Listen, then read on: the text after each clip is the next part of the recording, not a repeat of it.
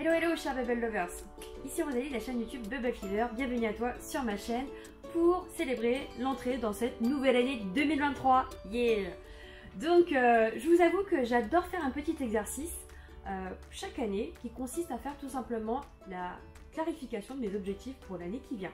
Donc euh, comme tu as pu le comprendre, c'est pas forcément évident pour tout le monde parce qu'il s'agit effectivement de se poser et de savoir comment s'y prendre, comment faire. Je sais que c'est un exercice qui peut être un peu stressant. Euh, je vais essayer de, te partager quelques petits conseils pour te permettre de clarifier, de redéfinir finalement ces axes-là pour te permettre de démarrer cette année de bon pied. Voilà, donc euh, je vous recommande de prendre un petit moment, de vous poser et de suivre ce petit exercice très très puissant que je fais moi-même euh, et qui a tout simplement pour objectif de faire le bilan de l'année 2022. Mais avant d'aller plus loin, sache que euh, mes euh, Bubble Fear académiciens, avec mon équipe, nous adorons accompagner et permettre aux personnes de réaliser, concrétiser simplement leurs rêves en lançant un Bubble Tea Bar qui soit rentable et qui leur ressemble. Si tu veux retrouver l'ensemble de mes contenus autour de mes formations et aussi de mes coachings, je t'invite à cliquer juste sur le lien en descriptif pour retrouver tout ça. Oublié un point très important.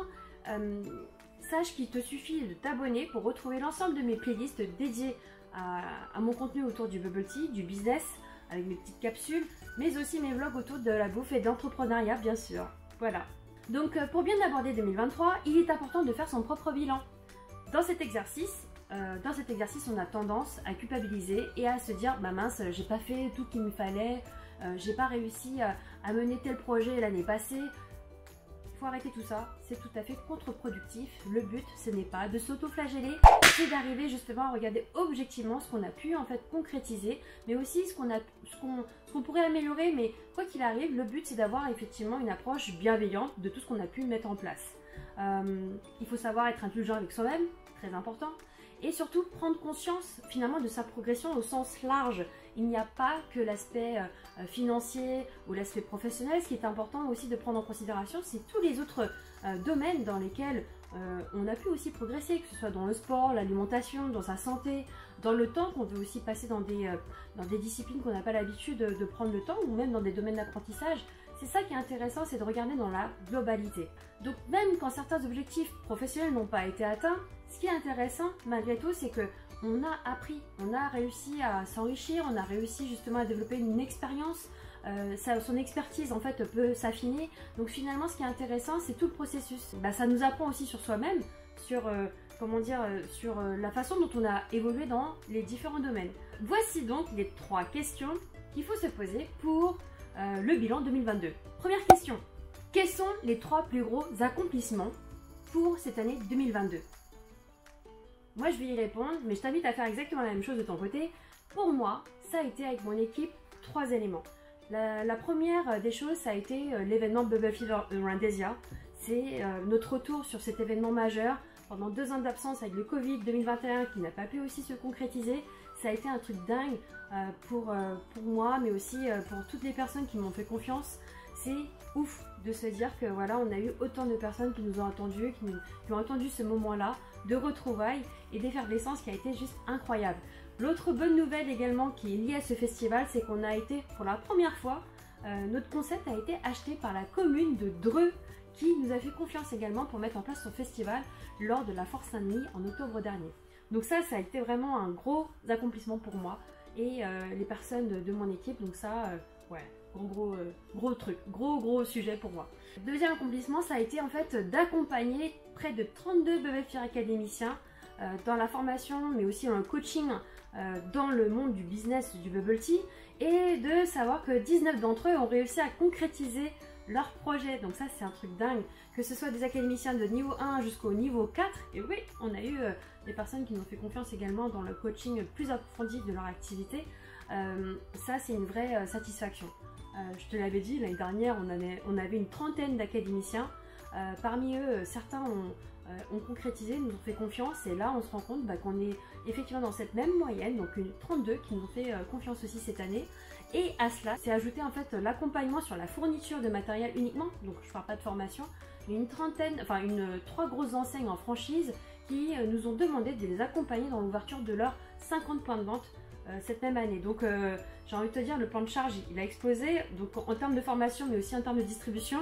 Donc clairement, ça a été un enjeu majeur en termes d'accomplissement pour, pour toute l'équipe.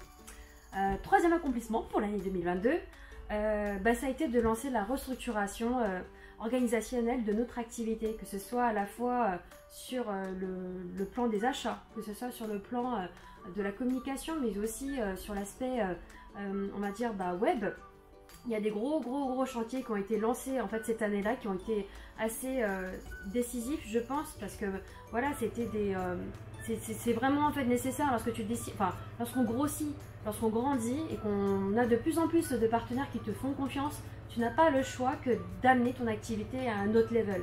Donc euh, là, ça a été vraiment un gros gros pas d'amener justement Bubble Fever dans le lancement de ces différents chantiers. Donc euh, gros gros enjeux, on y est encore, ce n'est pas fini, mais en tout cas voilà, euh, l'envie et l'intention est toujours là et on est à fond. Donc voilà, donc je suis très très contente de tout ça.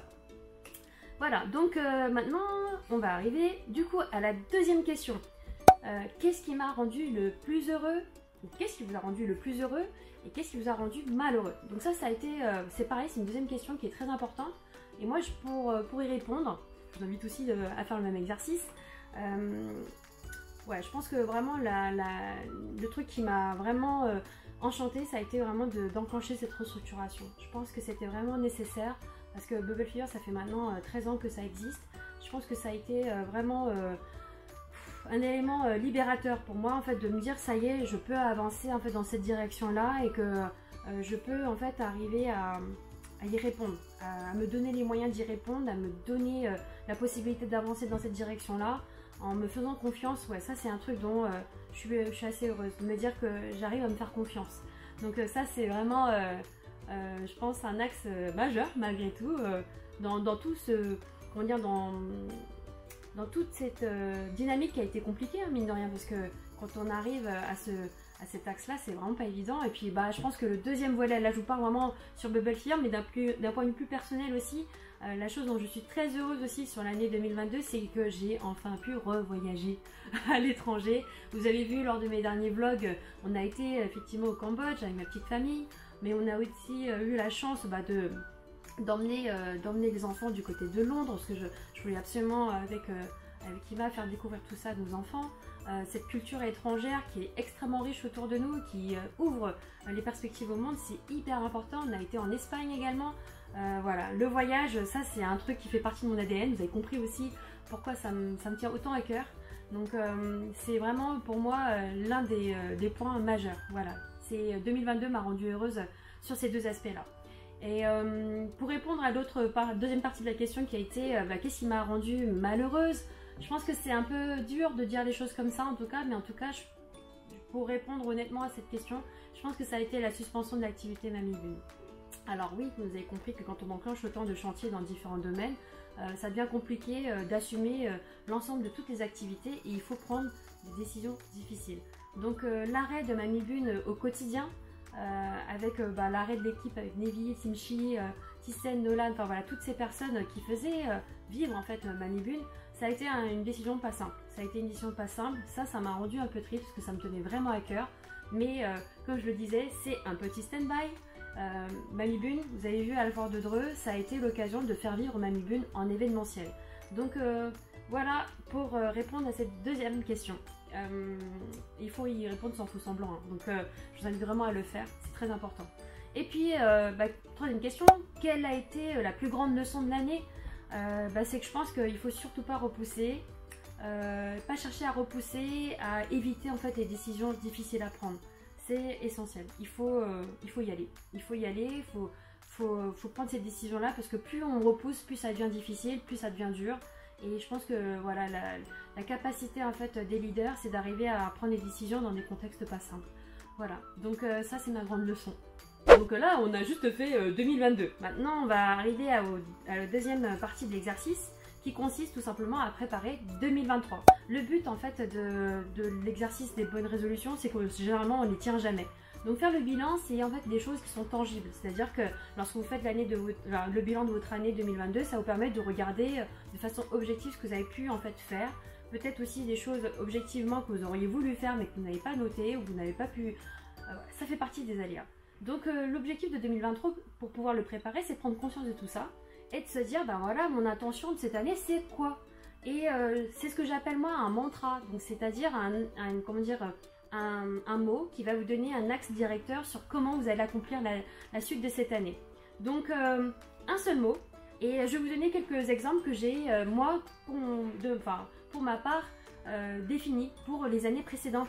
Donc euh, par exemple, moi je vais vous donner euh, les différents mots que j'ai employés pour chacune des années. Donc en 2019 par exemple, ça a été leadership.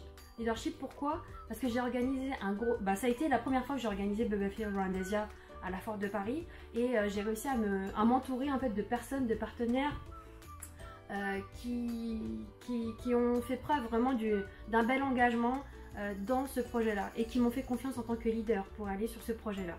Donc euh, pour moi, ça a été effectivement euh, bah, le, terme leadership. Ça a été là où j'ai pu prendre conscience de l'élan que je pouvais avoir en tant que dirigeante sur la société Bubble Fever.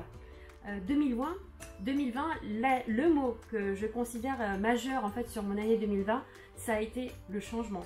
Changement à tout point de vue parce que ça a été le déménagement, ça a été aussi repenser, créer des nouvelles activités pour Bubble Fever à ce moment-là. Donc oui, clairement, j'ai ça a été un gros remue-menage parce que j'ai dû repenser vraiment le, système pour Bubble Fever. Et donc 2020 euh, se caractérise bien par ce mot-là, changement. 2021 euh, par exemple, ça a été euh, bah, le test. test pour 2021 parce que c'est là où j'ai commencé à tester des axes différents.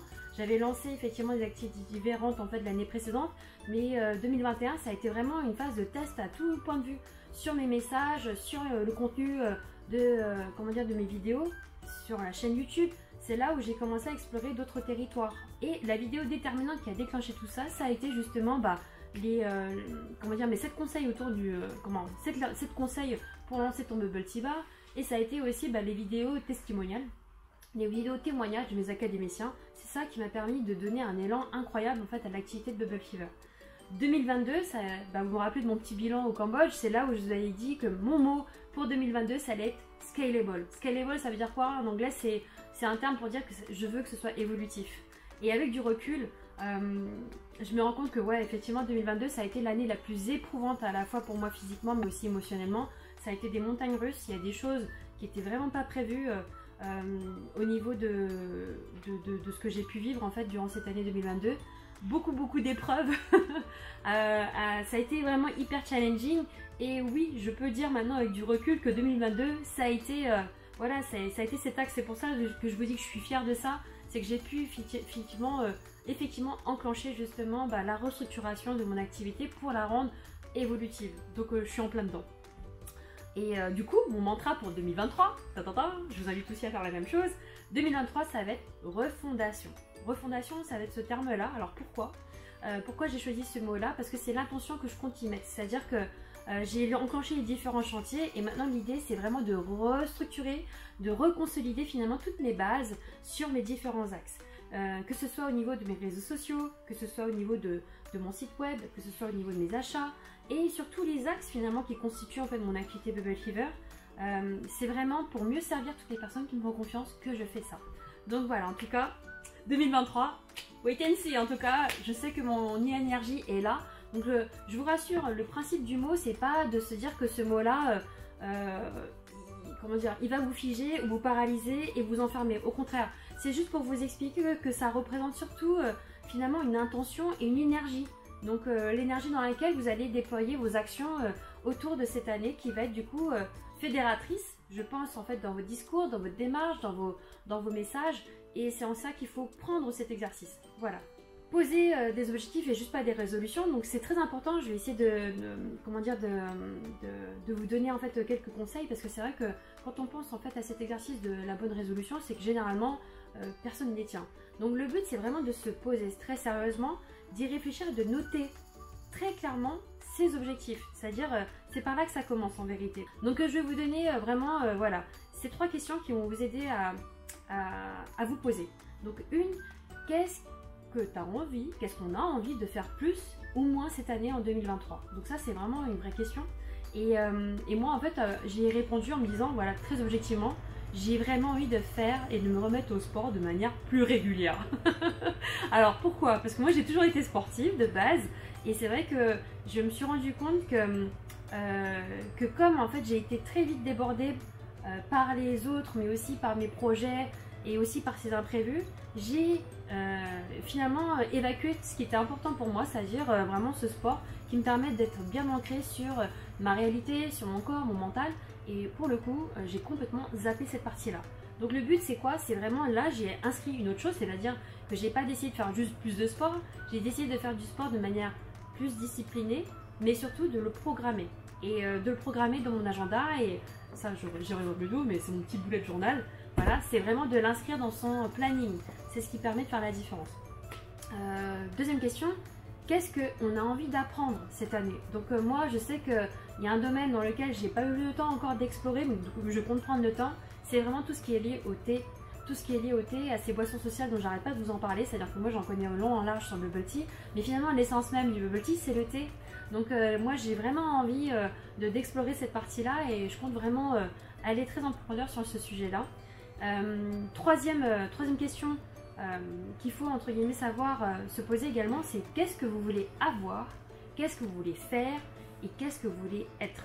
Donc ça c'est vraiment une vraie question et moi, je pense que voilà, à, cette question de quelle manière j'ai envie d'y répondre, c'est que moi, j'ai envie d'avoir mes 100 premiers académiciens à coacher sur cette année 2023 de manière décisive. Donc, c'est vrai que ça va être un nombre de places limité. Mais voilà, oui, vous avez compris, ça va être vraiment limité pour un nombre de personnes. Euh, je m'adresse à toute la francophonie, pour toutes les personnes qui veulent se lancer. L'objectif, c'est ça, c'est vraiment de, de, donner un coaching exclusif pour ces 100 premières personnes qui seront euh, vraiment se positionner de manière opportune parce que oui c'est une opportunité parce que c'est vraiment quelque chose avec mon équipe dont on a réfléchi longuement et on s'est dit euh, voilà quel genre d'expérience on veut apporter à ces personnes qui nous font confiance et je peux vous assurer que le programme il va être ouf pour euh, justement ces 100 premiers académiciens qui s'inscriront à la Buffer Academy nouvelle version. Ensuite qu'est-ce que je veux avoir? Alors ça c'est quelque chose de plus personnel mais oui je veux avoir un camping-car pour pouvoir justement me, euh, euh, être nomade, pouvoir euh, développer cette créativité, mais aussi ce voyage, ce goût du voyage dont je vous en parle, et qui permet vraiment bah, d'ouvrir ses perspectives, ses horizons, de nourrir sa créativité, et bah, finalement d'embarquer tous les gens que vous aimez autour de vous. Moi, c'est vraiment ma façon de voyager, de prendre le temps, de, connaître, de découvrir des gens, les personnes, l'environnement, c'est un truc qui me, qui m'anime au plus profond de mon cœur. Donc voilà ce que, ce que je souhaite avoir, et puis qu'est-ce que je souhaite être? Bah, tout simplement une source d'inspiration également pour plus de personnes. Prouver que c'est possible quand on croit en soi, quand on décide justement de se donner les moyens, oui c'est possible. Euh, les enfants, c'est pas un élément de blocage pour moi, au contraire, c'est ma source d'inspiration, c'est ce qui me permet en fait de me dépasser et de me dire que justement, euh, euh, je veux surtout pas dire à mes enfants qu'ils ont dû endosser la responsabilité de ce que je n'ai pas pu faire. Au contraire, c'est grâce à eux que j'ai pu faire ces choses-là. Donc voilà. Donc le but de l'exercice, vous avez compris, hein, c'est qu'on peut y aller en mode brainstorming, on balance toutes ces idées. Il faut surtout euh, être indulgent. Le but, c'est qu'on fera le tri au fur et à mesure. Mais en tout cas, je vous invite vraiment à faire cet exercice qui est vraiment hyper, hyper efficace. Et surtout, euh, euh, je pense qu'il vous permet vraiment de libérer un peu tout ce poids. C'est-à-dire toute cette gêne qu'on peut avoir. Je ne vous cache pas, moi, à la fin de l'année 2022, j'étais là avec un gros tas dans ma tête. Et je me suis dit, mon Dieu, je sais plus il y a tellement de choses qu'à un moment donné, ça devient indigeste. Donc de faire cet exercice où vous posez toutes vos idées à plat, c'est formidable. C'est libérateur et ça vous donne en fait une sorte de ligne d'horizon pour pouvoir savoir où aller, tout simplement. Petit mot de la fin, il faut savoir mettre euh, les critères là où ça vous semble important et ne vous attardez pas justement sur les choses que vous n'avez pas pu accomplir. Euh, mettez vraiment de l'attention sur les choses qui sont déjà réalisées et ça c'est ouf parce que vous y avez mis de euh, l'énergie, vous y avez mis de cette force et ça, c'est super. Donc, euh, capitalisez là-dessus. L'énergie positive, elle vous permet de créer plein de choses. L'énergie en fait négative, elle a tendance justement à vous retenir et à vous freiner dans, dans vos objets, dans vos, dans vos objectifs, dans vos intentions. Donc, focalisez là-dessus. Voilà, voilà, mes chers amis Bubble Lovers, cette vidéo, elle était un peu particulière, mais en tout cas, je la trouvais vraiment intéressante à vous partager, cet exercice. Vous savez que voilà, le partage, c'est quelque chose, c'est mon credo. Euh, c'est le principe même de cette boisson sociale qui est le bubble tea.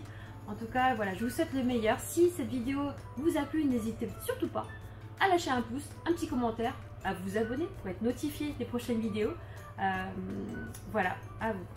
Je vous souhaite en tout cas le meilleur pour cette année 2023 et je vous dis à très bientôt pour mes leçons.